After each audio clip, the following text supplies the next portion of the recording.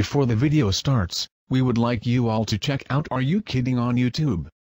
He mainly does Battlefield and Call of Duty videos but he has also made a few tutorial videos.